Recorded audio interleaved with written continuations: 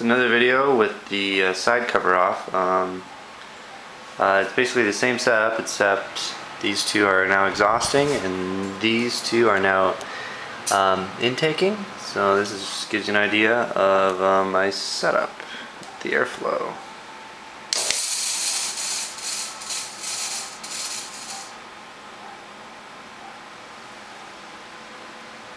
So I kind of like how the air goes out of the computer faster and um, these fans are going to be blowing hot air into the computer and I kind of like the idea of these immediately getting rid of that hot air.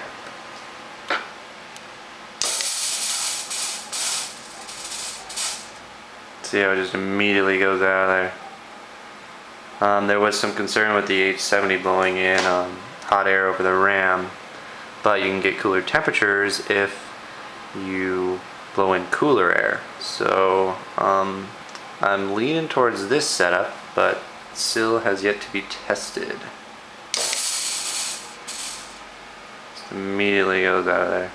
Very nice. Goes in here, and you see it just gets sucked out right there. Okay, thank you for watching.